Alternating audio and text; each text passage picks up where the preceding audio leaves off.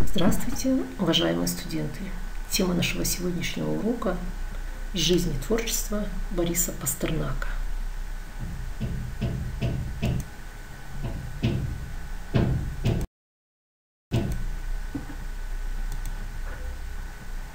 Цель нашего сегодняшнего урока – познакомиться с основными этапами жизни и творчества поэта. Мне хочется начать урок словами Гинзбурга – Пастернак пишет так, что прочтешь и задохнешься от удивления. Родился поэт 29 января 1890 года в Москве в семье известного художника Леонида Пастернака. Семья Пастернаков поддерживала дружбу с известными художниками Левитаном, Поленовым, Нестеровым, Ивановым. В доме бывали музыканты и писатели, в том числе Лев Николаевич Толстой.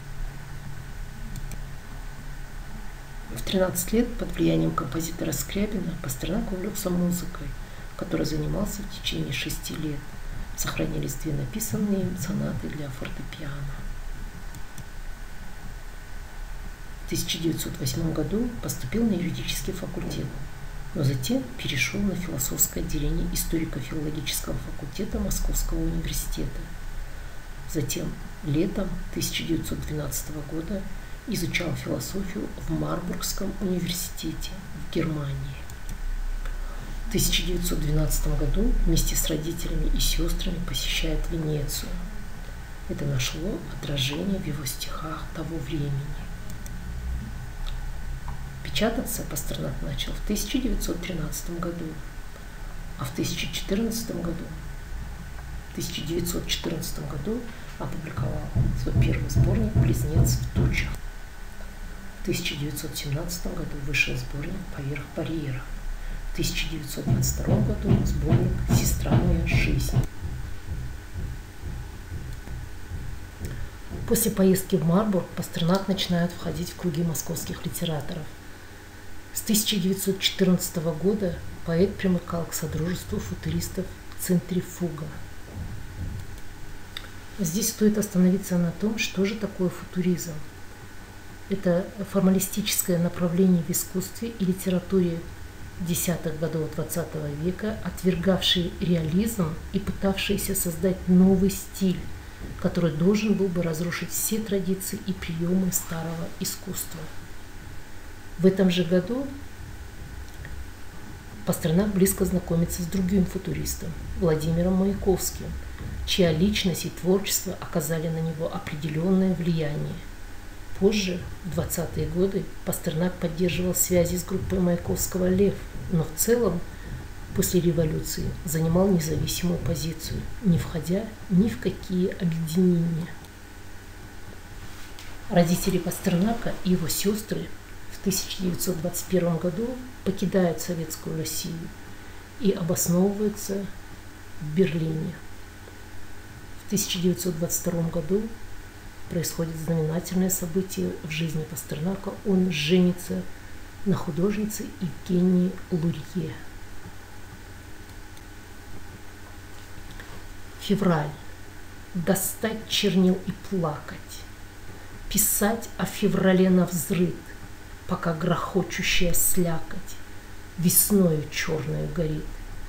Достать пролетку за шесть гривен, через благовест через крик колес перенестись туда, где ливень еще шумней чернил и слез, где, как обугленные груши, с деревьев тысячи грачей сорвутся в луже и обрушат сухую грусть на дно очей. Под ней проталины чернее, и ветер криками изрыт, и чем случайней, тем вернее слагаются стихи на взрыв.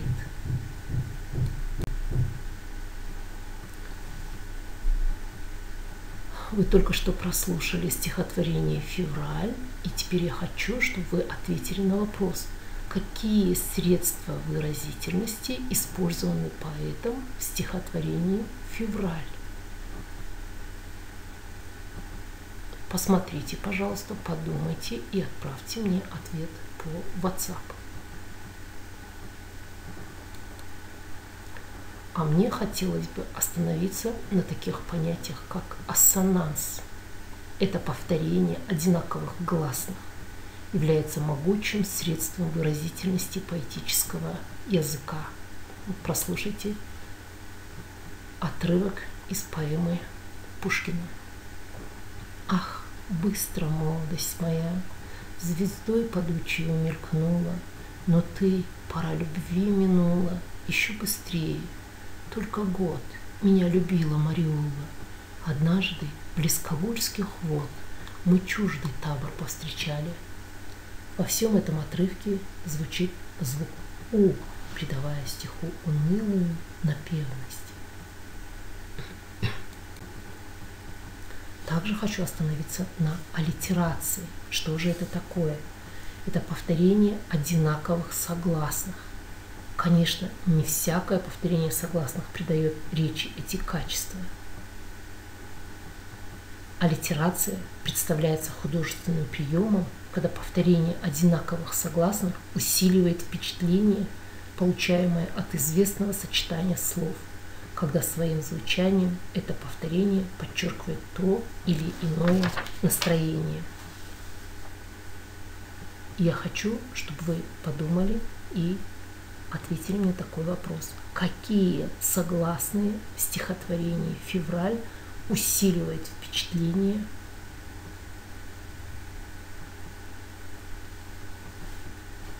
данного стихотворения?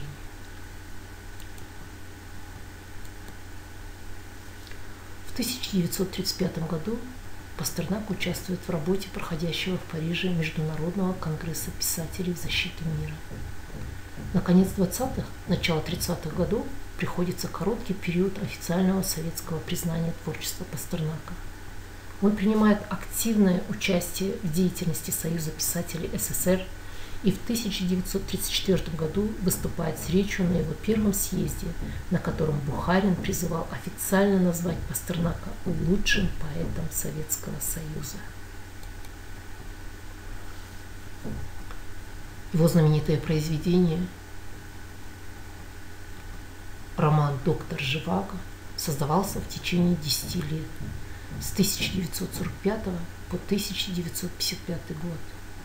Роман является собой широкое полотно жизни российской интеллигенции на фоне драматического периода от начала столетия до гражданской войны. Во время написания романа Пастернак не раз менял его название. Роман был напечатан в 1957 году в Италии, затем переведен на многие языки мира, а в 1958 году автору была присуждена Нобелевская премия – за выдающиеся достижения в современной лирической поэзии и на традиционном поприще великой русской прозы. На родине же Пастернака начали активно травить. Исключили из членов Союза писателей, организовали в газетах, журналах, на радио целый поток оскорблений и обвинений, заставили отказаться от Нобелевской премии раздавались требования покинуть родную землю. Я связан с Россией рождением, жизнью, работой.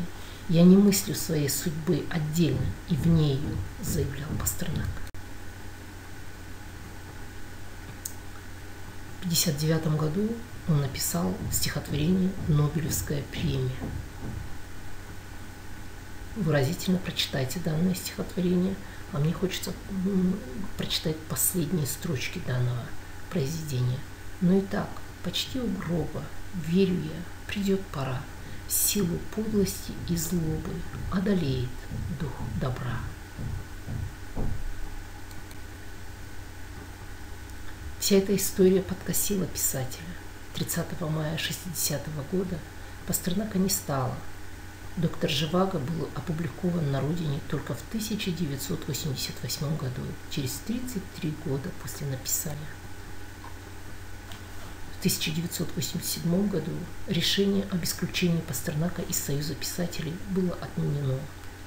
В 1988 году доктор Живаго впервые был напечатан в СССР в журнале «Новый мир», в 1989 году диплом и медаль Нобелевского лауреата были вручены в Стокгольме сыну поэта. домашнее задание. Подготовьте выразительное чтение и разбор одного из стихотворений Пастернака. Обратите внимание на аллитерацию и ассонанс. А также прочитайте краткую историю романа «Доктор Живаго», дайте характеристику главным героям. В ходе подготовки материала использованы ресурсы. Пройдя по данным ссылкам, вы можете более подробнее узнать жизнь и творчество Бориса Пастернака. А сейчас я хотела бы, чтобы вы прослушали одно из его стихотворений.